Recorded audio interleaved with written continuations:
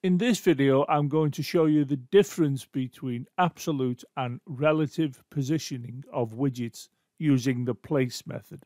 Here you can see I'm highlighting the usual program statements you would expect to see when you're dealing with tkinter in Python. These three program statements, well, they're going to create a label that's associated with this window that was created on this line. And you can see that I'm making the background color of each of the labels red, green, and blue and I'm associating the labels with an appropriate name, as you can see here. Now, on these three lines, you can see I'm invoking the place and I am positioning the labels according to the coordinate that I'm passing in here to the place method. And if we consider these x and y coordinates, they are examples of absolute positions. They define precisely where the labels are going to appear on the window as illustrated by the graphical user interface you can see here. So this red label was placed here because of these coordinate positions, the green one was placed here because of these absolute coordinate positions, and the blue one was placed here because of these coordinate positions.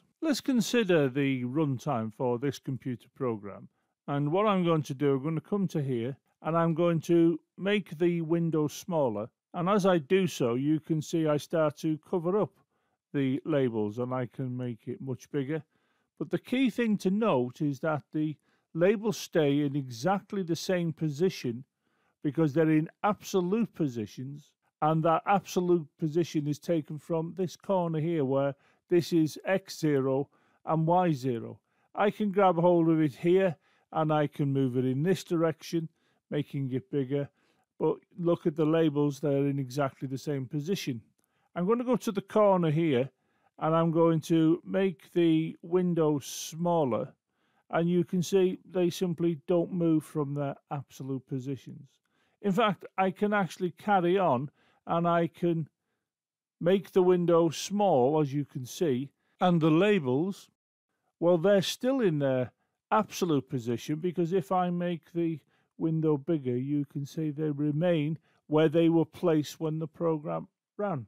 This computer program is showing an amendment to the program we've just been considering, and the amendment is shown here. The arguments were a moment ago x and y coordinates, and now you can see they are different. This, for example, is rel x, which stands for relative x, and this is rel y, which stands for relative y. And these are arguments that are going to be passed into the place method that's associated with this label. If we consider these three program statements, you can see we're dealing with each label in turn, and in each case we're invoking the place method, and we're passing in relative positions, we're not passing in coordinate positions. So whereas before what we had here were absolute positions, what we now have by the setting of rel x and the setting of rel y, we have relative positions for where the labels will be placed on the window.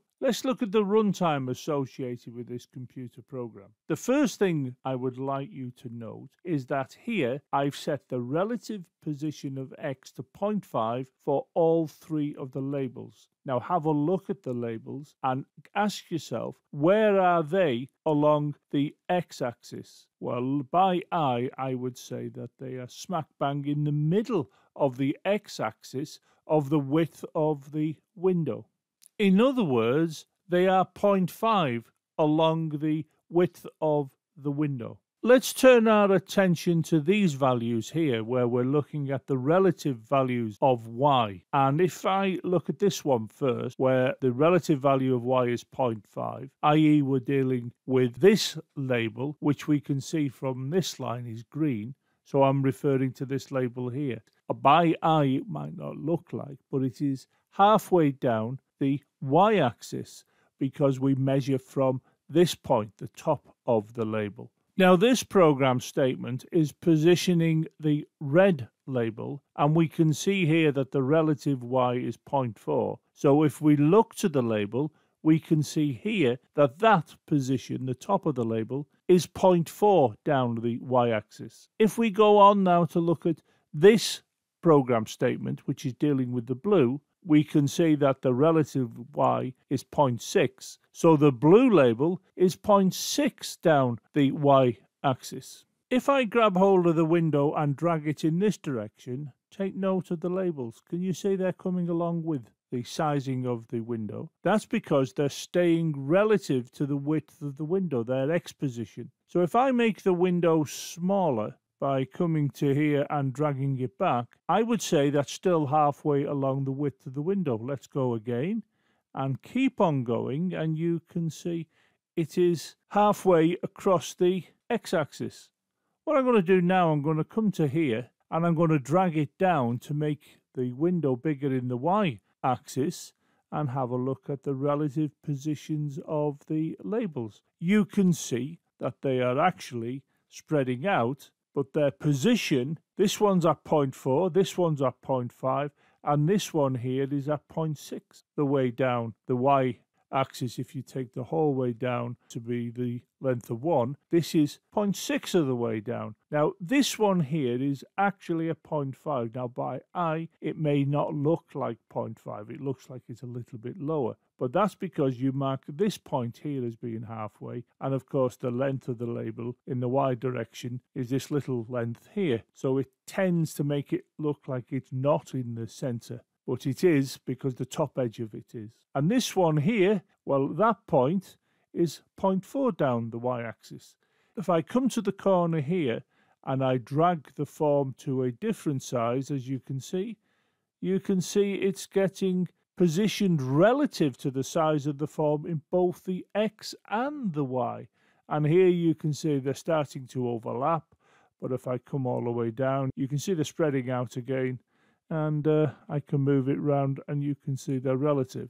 So that's what we mean by relative position. Now, there's other things we need to do here when we're setting the properties associated with the relative position when we use the place method, but I will be covering them some other time. But now you should be able to see the clear difference between the absolute positioning and the relative positioning of widgets when you use the place method.